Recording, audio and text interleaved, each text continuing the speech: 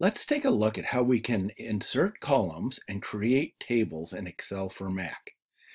Here we have a data set on 100 employees. I think they work for a, a lumber yard. And we've got, we've got five columns here indicating the usual number of hours worked, their education and years, their yearly income, their age, and their, their sex. Now let's, let's arrange things so that we can handle this data better. First thing we want to do is we want to, let's say we want to be able to identify each employee. This is anonymous data, so there's no names associated, but we might want to give everybody a number.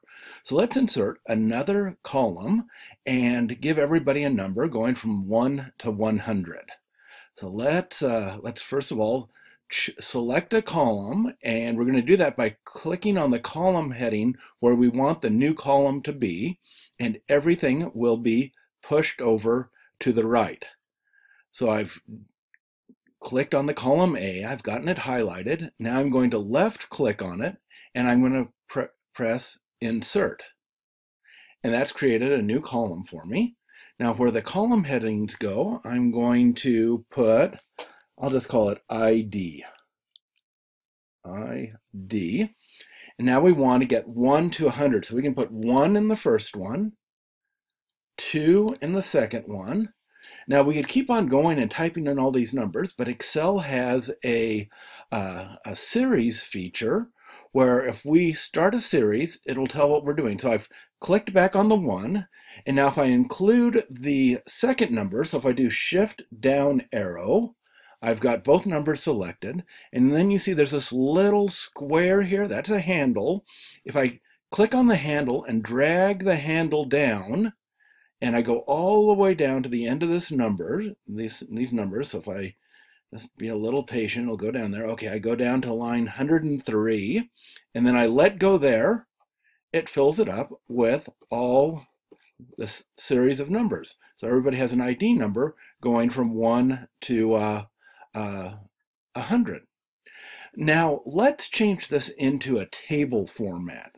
This is a neat feature of, of Excel. So if we go to Insert, and now we've got to make sure that the cell that we've chosen is inside of the data. So if I click on, I go into Insert and I go into Table, it says, what is the data for your table? And it puts a ring around what it, what it thinks that I want it to be. And it looks like it's guessed right and so A3 to F103. It has a checkbox for my table has headers, yes. The different columns have headers, and so I click OK, and it changes it into a really nice uh, table that um, has these little triangles at the top in the, the headers. So if I wanted to sort uh, uh, things by, say, people's age, I could go uh, sort from ascending to descending, that uh, uh, going from the low to the highest. So if I were to do that, I uh, I could go sort, uh, and there we've got sorted by people's age. Uh, we could do this for any uh, column. If I wanted it descending, the youngest people first. We could do it that way. Um, so that's a, a way of one of the advantages of having um, a table.